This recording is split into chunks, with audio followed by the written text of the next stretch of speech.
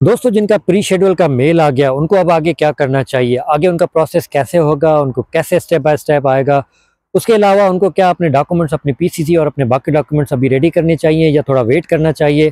Complete detail इस video में मैं आपसे शेयर करूँगा। वीडियो बहुत इंपॉर्टेंट है, इसको लास्ट तक देखिएगा। वालेकुम दोस्तों। उम्मीद करता हूँ आप सब लोग खैरियत से होंगे।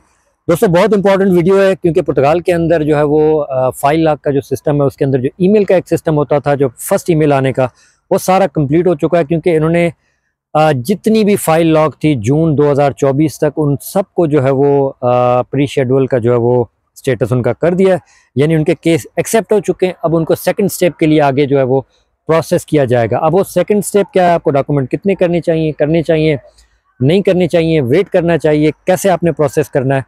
आ, उसके बारे में सारी डिटेल में इस वीडियो में मैं आपसे शेयर करूँगा। देखिए, आप सबसे पहले तो अपनी ईमेल चेक करें और अपना सापा का जो है वो पोर्टल चेक करें। आपने छेड़ना नहीं, आपने जस्ट चेक करना है कि आपको ईमेल आई है या नहीं आई है। सापा पे आप जाके अपनी फ़ाइल लॉक चेक करें, वहाँ पे आपका स्टेटस प्री शेड्यूल में आ गया होगा। एक चीज़ ये होगी आप इसको एक चेक करें, दूसरा आप अपनी ईमेल रेगुलरली हर दो तीन दिन में एक दफ़ा चेक करते रहें ताकि आपको सेकंड ईमेल का अगर आ जाए तो आपको पता चल जाए।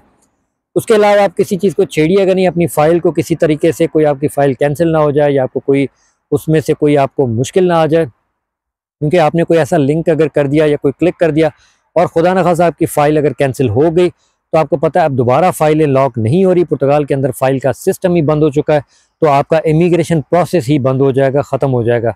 उसको रिजॉल्व करने के कुछ ऑप्शंस हैं, लेकिन वो डिपेंड करता है केस टू केस कि आपका वो रिजॉल्व होता है या नहीं होता। ऐसा नहीं हो, आपका कोई सिस्टम रिजॉल्व ही नहीं हो और आपका फ़ाइल का सिस्टम ही दोबारा वापस ना जो है वो रिकवर ना हो सके और आपका सिस्टम ही ख़राब हो जाए। तो एक चीज़ ये हो गई, उसके अलावा जिन लोगों को मेल नहीं आई है, जिनका नहीं हुआ या प्री शेड्यूल भी अगर किसी ऐसा है जिसका नहीं हुआ तो पहले आप कमेंट करके नीचे बता दें ताकि और भाइयों को भी पता चल जाए। और आपका किस किस डेट तक का आपका प्री शेड्यूल मिल गया, आपकी कौन सी डेट थी, कौन सी फ़ाइल लॉक थी, ये भी कमेंट करें ताकि और दोस्तों को भी इसमें इन्फॉर्मेशन मिल जाए और उनके लिए भी आसानी हो जाए, एक आइडिया हो जाए सबको। अगर आपका कोई स्टेटस चेंज नहीं हुआ, आपको कोई मेल नहीं आई तो आप थोड़ा सा वेट कर लें। होपफुली इसी वीक के अंदर या नेक्स्ट वीक तक जो है वो सबको ईमेल प्री शेड्यूल सारा उनका सिस्टम जो है वो क्लियर हो जाएगा और सबको अपनी तरफ़ से मेल आयमा की तरफ़ से जो है वो आ जाएगी। एक चीज़ ये हो गई। अब आपने दूसरा ये करना है कि आपने वेट करना है। आपने वेट करना है अपनी मेल आने का, जिसको सेकंड मेल बोलते हैं, वो आपको उसके लिए वेट करना पड़ेगा। सेकंड मेल आपको जैसे आएगी, उसके अंदर आपको ये सबसे पहले जितनी मुझे इन्फॉर्मेशन है, मैं वही आपसे इस वीडियो में शेयर करूँगा। अगर मुझे कोई इन्फॉर्मेशन नहीं है या कोई गलत हो जाए चीज़ या कोई इन्फॉर्मेशन मैं कम प्रोवाइड करूँ तो उसके लिए मैं आपको सबसे पहले माजरत करता हूँ, क्योंकि देखें मैं भी कोई एक्सपर्ट नहीं हूँ, लेकिन मैं भी अपने एक्सपीरियंस से, अपनी इन्फॉर्मेशन से जो मुझे पता, जो मैं खुद अपना प्रोसेस करूँगा, वही आपके साथ मैं इसमें शेयर करूँगा। तो अगर कोई गलती हो जाए, कोई चीज़ कमी पेशी हो जाए तो उसके लिए पहले से एडवांस माजरत। अच्छा अब आपने ये करना है कि आपने वेट करना है, जैसे आपको सेकंड मेल आती है, जिसको हम सेकंड मेल बोलते हैं सेकंड मेल आपको जैसे ही आएगी उसके अंदर आपको होपफुली आपको पेमेंट के लिए कहा जाएगा कि तकरीबन 400 यूरो के करीब आपने पेमेंट करनी है। ये पेमेंट आप रेडी रखें। पेमेंट आपकी ये आपकी फ़ीस है बायोमेट्रिक के टाइम की जो तकरीबन 400 यूरो के करीब बनती है। आ, कुछ दो चार आगे पीछे हो जाते हैं इसमें तो आप अपने पेमेंट रेडी करें ताकि आपको बायोमेट्रिक की जो फ़ीस है वो आपको सबमिट करनी पड़े। अब आपने बायोमेट्रिक के पहले आपको सबमिशन की होपफुली आपको जो है वो मेल आएगी। तो आपने जितना जल्दी हो सके अपनी बायोमेट्रिक के लिए अपनी पेमेंट कर देनी है, क्योंकि फ़र्स्ट कम फ़र्स्ट सर्व के हिसाब से होता है। लास्ट टाइम भी इन्होंने ऐसा किया था कि कुछ लोगों का बाद में फ़ाइल लॉक थी, उनको पहले मिल गई, जिनकी पहले थी, उनको बाद में मिल गई। तो ये आयमा की तरफ़ से कुछ चीज़ों में होता है, ये नहीं होना चाहिए।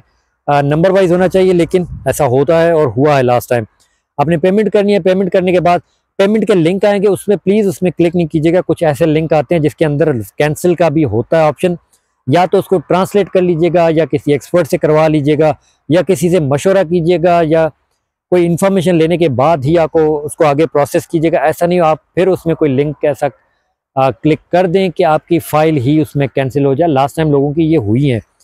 खैर फिर आपने आ, पेमेंट करनी है पेमेंट करने के बाद फिर आपने वेट करना है। उसके बाद पंद्रह से बीस दिन के अंदर आपको दोबारा एक मेल आएगी जिसमें अंदर बायोमेट्रिक की डेट अब ऑटोमेटिक आपको सेफ़ देगी। पहले की तरह नहीं होता। कि आपने डेट उठानी होती है ये करना होता है वो करना ऐसा नहीं होता। अब आपको डायरेक्ट जो है वो पेमेंट अपॉइंटमेंट की आपको वो डेट देंगे सेंटर देंगे। उस पर आपने जाना है उसमें अपने डॉक्यूमेंट रेडी करने उसके बाद आपने जाना है। अभी आप अपने डॉक्यूमेंट्स के चक्कर में जो है वो थोड़ा सा वेट कर लें देख लें प्रोसेस आगे कैसे चलता है। हो सकता है किसी को दो महीने के बाद की चार महीने के बाद की छः महीने के बाद की। आ, मे, मेरी तो यही दुआ है कि ऐसा ना हो। सबको जो है वो जल्दी जल्दी अपॉइंटमेंट मिल जाए क्योंकि सब वेट कर रहे हैं कोई इतना लेट का किसी को ना मिले बहुत जल्दी सबको मिल जाए। तो ये एक प्रोसेस है जो मैंने आपको बताया। डॉक्यूमेंट देखिए डॉक्यूमेंट बाकी तो सारे इजीली बन जाते हैं। एक पीसीसी का मसला होता है। आ, वो पाकिस्तान की जैसे मैं अभी बात करूँ तो मेरे एक आ, जो है वो भाई गए थे अभी उन्होंने जहाँ से आ, जो है वो अथॉरिटी लेटर बनाया था वो उसी दिन उनको एक घंटे में मिल गया था। तो उनको पाकिस्तान भेजना है। पाकिस्तान भेजने के बाद वहाँ से पीसीसी बना के अपने मुफा से अटैच करनी है पोस्टाइल करानी है।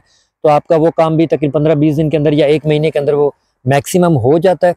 पीसीडीसी की वैलिडिटी जो है पुलिस क्लियरेंस सर्टिफिकेट की मैं बात कर रहा हूँ, उसकी जो वैलिडिटी होती है, वो तकरीबन तीन महीने ऑफिशियली होती है। कुछ केसेस में तीन चार महीने चार महीने, पाँच महीने छः महीने तक भी लोगों की चल जाती है। डिपेंड करता है वो सेफ़ के ऑफिसर के ऊपर या आयमा के ऑफिसर के ऊपर। तो इस तरह ये पीसीसी का है नेपाल का मैंने सुना है कि अभी वो ऑनलाइन वाला पहले सिस्टम था, अभी वो ख़त्म हो गया तो अभी वो जाके आपने खुद वो जाके करवानी पड़ती है, लोगों ने अभी करवाई है, लोगों के साथ ये प्रॉब्लम अभी अचानक हुई है। कोई इसी मंथ में ही इनका भी कोई पुलिस का भी सिस्टम जो है वो थोड़ा सा चेंज हुआ है। वो आप थोड़ा सा अपने कंट्री के हिसाब से देख लीजिएगा। बाकी आपके डॉक्यूमेंट उसकी कोई वैलिडिटी नहीं होती, लेकिन एक चीज़ का इसमें ख्याल करना है कि आपके फाइनेंस पे, आपका सोशल का, आपका जुनता आप फ्रेश तीनों ले लें। फाइनेंस और सोशल का आपने सिर्फ़ प्रिंट लेना है। जुनता अगर आपका नहीं बना हुआ तो आप फ्रेश जुनता बनवा लें। उसकी भी तीन महीने, चार महीने वैलिडिटी होती है। और दूसरी सबसे इम्पोर्टेंट सबसे इम्पोर्टेंट जो बात उसमें है, वो ये कि आप तीनों पे आपका जो एड्रेस है वो सेम होना चाहिए। देखें अगर आपके पास फाइनेंस का पासवर्ड है सोशल का पासवर्ड है तो खुद आप ऑनलाइन उसको एक्सेस करके, नहीं तो मुझसे कमेंट करके आप पूछ लीजिए, मैं आपको बता दूँगा। आपने एक्सेस करके वहाँ पर जाना है। और आपने अपना जो है वो एड्रेस जुनता वाला वहाँ पे डाल के उसको चेंज कर लेना, उसके बाद आपने किसी भी फाइनेंस के ऑफ़िस जाके सोशल के ऑफ़िस जाके उसका जो एक प्रिंट लेना। कुछ लोगों के ऐसा हुआ कि उनका अगर एड्रेस सेम नहीं था डिफरेंट एड्रेस था तो लोगों के बायोमेट्रिक उस पर कैंसिल मतलब उन्होंने फिंगर नहीं लिए या कैंसिल किए या उनको फालता डाला है उनके बायोमेट्रिक नहीं लिए। तो प्लीज़ थोड़ा सा इस चीज़ का ख्याल कीजिएगा। आपके तीनों पे एड्रेस सेम होने चाहिए, नहीं है तो आप तीनों के एड्रेस सेम करें। खुद भी कर सकते हैं या किसी से करवा सकते हैं। आपके ये सारे होने चाहिए। पुलिस क्लियरेंस होना चाहिए आपके पास पासपोर्ट होना चाहिए वैलिड होना चाहिए। और बाकी जो आपके जो डॉक्यूमेंट्स है अपनी सैलरी के हवाले से सैलरी स्लिप हो गई जॉब कॉन्ट्रैक्ट हो गया आ, वो एक लेटर बनता है आपका जो आपका जो मालिक आपको देता है वो आपको लेटर आपके पास होना चाहिए। आ, बाकी जिनकी एक्टिविटी है उनके पास अपनी ग्रीन रिसेप्ट एक्टिविटी के पेपर और बाकी सारी चीज़ें होनी चाहिए। ये सारे डॉक्यूमेंट्स आप लेके सारे जाके आप अपने बायोमेट्रिक की डेट पे जाके आप वहाँ पे दे सकते हैं। और अब तो सबसे पहले वो ये कह रहे हैं कि डॉक्यूमेंट्स अपलोड करने चाहिए। उसकी भी जब मेल आएगी तो वो डॉक्यूमेंट अपलोड कर दीजिएगा, ताकि वो वहाँ पे भी जो वेरीफाई करने पे टाइम लगता है, जब बाकी चीज़ें होती है तो वो उसको भी वो थोड़ा सा फास्ट उन्होंने कर दिया है। बाकी आपने बाय हैंड वहाँ पे जाके डॉक्यूमेंट देने हैं, दिखाने हैं, हो सकता है वो देखें, हो सकता है वो ना भी देखें, लेकिन आपने सारी फ़ाइल बना के साथ में लेके जानी है। वेट करना है और उसके बाद अपने बायोमेट्रिक के बाद अपने कार्ड के लिए वेट करना। होपफुली होपफुली अब कार्ड भी लोगों के जल्दी आएँगे। प्रोसेस भी फास्ट हो जाएगा। जिस तरह ये गवर्नमेंट स्टेप ले रही है, उससे तो लग रहा है कि अब वो सीरियस है इन केसेस को जल्दी पेंडिंग केसेस को ख़त्म करने के लिए। तो मुझे उम्मीद है मैंने आपको कंप्लीट प्रोसेस बता दिया। आप वेट करें।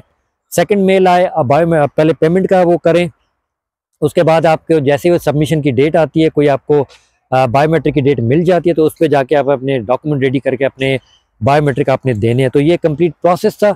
आ, कोई और जैसे इसमें अपडेट आती है कोई और स्टेप आता है कोई और जैसे कोई इसमें कोई नई डेवलपमेंट होती है या कोई स्टेप आगे पीछे होता है कोई चेंजिंग आती है तो मैं ज़रूर वीडियो बना के उसको आप लोगों के साथ शेयर कर दूँगा। अभी तक के लिए यही स्टेप है और यही प्रोसेस है। कोई भी सवाल हो किसी हवाले से फाइनेंस सोशल जुनता फ़ाइल लॉक या किसी आ, आपके और किसी हवाले से आयमा के बायोमेट्रिक के डॉक्यूमेंट्स के हवाले से कोई सवाल हो तो आप कमेंट करें। मुझे जो भी इंफॉर्मेशन होगी, मैं ज़रूर आपसे उसको शेयर कर दूँगा। मुझे भी अपनी ख़ास दुआओं में याद रखें। आपसे मिलते हैं नेक्स्ट वीडियो में।